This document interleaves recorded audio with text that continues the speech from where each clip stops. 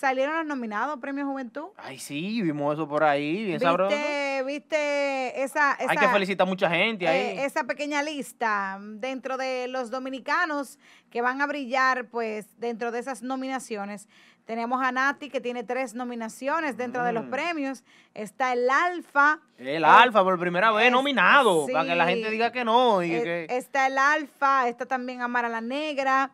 Y, y veo por ahí también que no lo han mencionado mucho en los medios de comunicación, pero vi que el nene también está nominado. sí, el nene está nominado ahí. Y, y, y es la segunda nominación de, de, de Amenazi, que ustedes saben que por primera vez, creo que fue el año pasado, él, él logró eh, eh, ganarse el premio.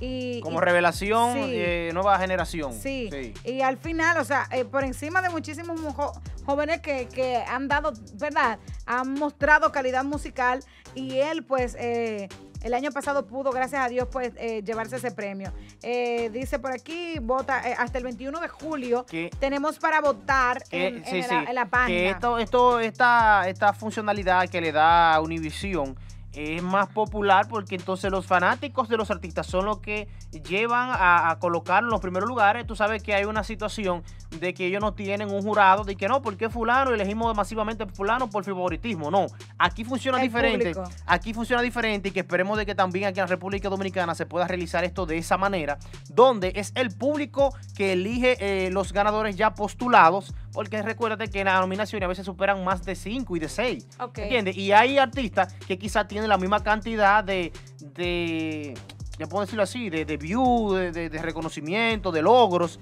y entonces el público lo, son los que posicionan al artista en el primer lugar para ganar. Por ejemplo, de nuestros dominicanos que están en la misma en el, en el mismo renglón, que fue el que él ganó el año pasado, hablamos de Amenazi, Sí, ¿verdad? sí. En este año él vuelve a estar dentro de esa misma nominación como nueva generación masculina, pero en esta en este renglón entra el Alfa. El Alfa. En, en- en este año entra el Alfa, entra Jay Cortés, que ha hecho demasiado buen trabajo.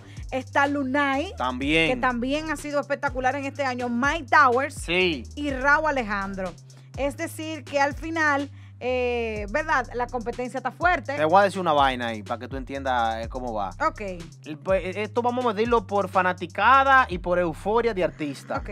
Para definirlo así, la competencia aquí en la República Dominicana está entre el Alfa y Amenazi, Mm. que lleva a que, a que el fanático o los fanáticos sean que apoyen a sus artistas urbanos, pero si vamos de manera internacional, la fanaticada dominicana, aunque hay muchos de ellos que tienen fanáticos en diferentes partes del mundo, Chris, en la fanaticada dominicana siempre se impone en estos tipos de votaciones porque el dominicano le gusta eso, al dominicano le gusta competir. Y para decirlo de esta manera, mi favorito, aunque yo lo quiero mucho, yo lo quiero y lo respeto mucho, para mí, para mí, mi favorito en, este, en esta nueva nominación es Amenazi. No, bueno, claro. eh, Es mi favorito porque, porque el, el espectro del alfa todavía está en crecimiento a nivel internacional. El Amenazi ya tiene una plataforma bien dura de fanáticos que votan. Ojo, Luis. Que votan. u- Ojo, Luis. Eh, eh, Amenazi no está nominado. ¿Es dónde que está nominado el Él no está nominado. eh, eh, él simplemente hizo la presentación. O sea, estaba, estaba escuchando para, para poder orientar bien a, todo el público. Él invitó a votar por Ah, esos muchachos. Pero en esta ocasión, él no tiene ningún tipo de nominación. Entonces, él, él lo invitó como, como fue el ganador de la pasada. Me- exactamente. Ok, como el dueño del premio soy yo, venga, Es- voten por los eh, muchachos. Ah, entonces, exactamente. si es así, entonces, gana el alfa. ¿Verdad? Gana el Eh, alfa. yo entiendo que sí. Es que el alfa es que atiende la euforia ahora mismo de la música urbana. Eso, eso, eso te iba a decir ahora mismo, que aunque el nene eh, hubiese estado nominado, pues quien se iba a llevar el, el premio, pues era, era el Alfa, porque ahora mismo el Alfa es el que tiene el, el poder. Mira, ahora mismo es el que tiene, el que está dominando pues la plaza eh, dominicana eh, a nivel internacional, es el Alfa. ¿Tú me entiendes? Pero eh, ya confirmó Clary de que él no está. no, nene, nominado. nene no está. Nene Ah, no bueno. está. Nene no está nominado, que simple y llanamente él hizo un video como él fue el ganador eh, anterior. O sea, Sí, sí. Pero eso no fue un video chopo, porque eso fue un video con producción, Claro. de- con la misma gente de, de, de Univision y, bien. y todo el asunto. dice el alfa, atención Univisión, apárteme el premio, que llegó el hombre, el animal, el criminal. Mira, por ejemplo, eh, en, en el, me llamó mucho la atención eh, el renglón en el que está nominado Omara, que es el renglón donde establece la tendencia de los estilos de, de cabello, Ah, de pero, pelo. ella- pero bien. dura. Me ahí- llamó la atención, Ah, pero, heavy, está- pero ahí está bien porque ella es dura. Ahí. No, no, yo no he dicho que no, Oye, pero ¿qué tú sabes, tú sabes, deja de moverlo, more. Es que está deja- como guachipineado. Es que está nervioso. Ay, ay, ay. déjalo ahí, tranquilo. No, que estoy incómodo porque tú sabes que el otro sale. Pero al final, o sea, yo, yo entiendo que está bien, porque al final, o sea, se, se premia el esfuerzo. Señor, tú no se imaginas lo que es tener que durar eh, un tiempo Ahora- prudente para uno arreglarse el pelo también. No, y que es más complicado porque tú sabes que el pelo de Amara eh, afroamericano, ¿verdad? Sí. Toma más tiempo del común para una persona que tenga el pelo más lacio, no bueno, porque hay diferentes tipos de pelo y aquí estamos confundidos que el pelo bueno y pelo malo. Pelo lacio y pelo engrespado, que se dice. Sí. Eh, que es el de Amara. Entonces, eh, el estilo de Amara que ella ha aplicado es que ella, hace- ella hace mucho tipo de, de flow, eh, eh, dura, de dura. peinado. Dura la morena, Sí, dura. sí, hace una adrela, que el cabello engrifado. afro, que, se seca, sí, que, se, hace seca, una cola. sí, sí, sí. Ella es muy dura. Miren, muchachos, hay 140 nominaciones para estos premios. El diablo. Y hay 28 categorías diferentes anunciadas por la cadena de Univisión.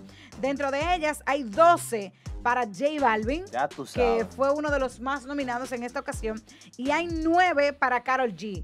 Dentro de ellos dos fueron los que, los que más tienen nominaciones dentro de los premios.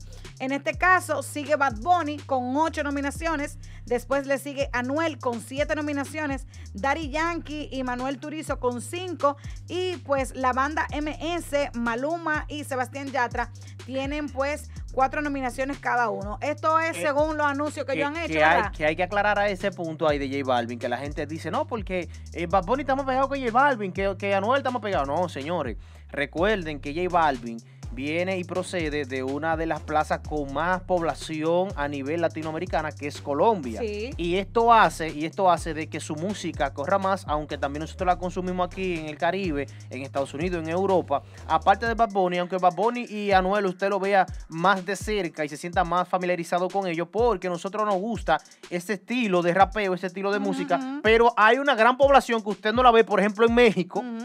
Que le gusta el estilo de J Balvin. En Colombia, eh, en Panamá, en Honduras, en Costa Rica, que también tiene su público y Univision dirige este contenido de estos premios a toda Latinoamérica, no solamente a nosotros aquí en Puerto Rico y República Dominicana, para que usted entienda eso ahí, eh, para que usted no se pierda de que diga, no, porque J Balvin sonó menos que, que Bad Bunny Anuel". Aquí, ajá, aquí, aquí, sonó menos. aquí. Pero aquí hay 10 millones, 11 millones de habitantes Me- y, me- y en, México hay, en México hay 200 millones de habitantes. Ya lo sabes. Mira, los premios van a ser el 13 de agosto, Luis. Sí. Eh, las nominaciones están cerradas hasta el 21 de julio. Tiny Boy, Ajá. ¿se va a hacer presencial o virtual? ¿Ustedes no vieron alguna información de No, eso? mira, dice, bueno, eh, uh, mm, no, no habla de nada. Dice que el galardón se entregará el próximo 13 de agosto en una gran gala musical Ah, bueno. a partir de las 7 de la noche. Y pues desde ahora que, fue ese de- que se dio a conocer la lista hasta el 21, 21 de julio, el público decide quiénes serán los ganadores de la gran fiesta del verano de la cadena hispana líder Debe- de de- Estados Unidos. deberían hacer las presentaciones musicales, ¿verdad? Con una cantidad limitada de personas. Exacto. Y algunos artistas, pues, podrían también entregárselo virtual, que ellos lo hacen a veces cuando están de gira y eso. Sí. Para tratar de cuidar y para educar también a las demás premiaciones de que se puede hacer o realizar de esa manera, digo yo. Mira, tú sabes que yo hago, eh, que entiendo que deberían de hacer. Por ejemplo, eh, pues que muestren la- los resultados de las votaciones y que se determine pues el ganador y que hagan la presentación, o sea, que hagan la- le hagan los premios ya coordinado con, con los ganadores. ¿Tú me entiendes? Como que, ok, se va a hacer una presentación, llegó fulano, eh, hace uno o dos temas, pam, pam, pam, se le entrega su galardón y cuídese por ahí mismo. Eh, claro, en, eh, en presencia de, de- de- de- de las personas que eso, eso tiene jurado y cosas, ¿verdad? Sí. Entonces, eso es lo que tienen que hacer. Digo yo, por el va- asunto de, eh, de eh, COVID y son- la son- vaina. Son muchas nominaciones, ahora que, ahora que estoy viendo. Pero que lo que te digo, que hay que ver porque eh, tú aglomerar esa cantidad de personas que ellos utilizan el America Air Arena, allá en Miami, en la, la arena de- del Miami Heat, ellos utilizan ese espacio y Sí. meten mucha gente porque incluso hasta venden taquilla para usted ir a los premios. Sí, ¿Entiendes? incluso, por ejemplo, si nosotros nos damos cuenta, ustedes ven que en los premios siempre hay un espacio delante que está como en el mismo, Sí, sí, en el que mismo escenario. fanático ahí. Sí, eso, esa- esas boletas son carísimas para tú, para tú poder estar ahí. Muchas veces también utilizan a modelos internacionales que estén ahí cerca. A los influencers y la vaina. Utilizan los influencers Que que sí le mandan- funciona, la influencia que sí funciona, lo ponen ahí. Todos los influencers Está bien, está bien, está bien. Para que tengan una idea. Está bien. Sigue, dale. Pero al final, al final, yo me imagino que esa estrategia este año no lo van a utilizar por, por lo que ya hemos hablado. Lo que sí yo sé que vamos a ver si se hace alfombra, que de hecho en el preámbulo de los premios va a estar Yomari Goizo y Clarisa Molina, eh, Mm. pues me imagino que dando los, los- una, una cortadita tela, ¿verdad? A ver quién va mejor vestido y, y- y eso.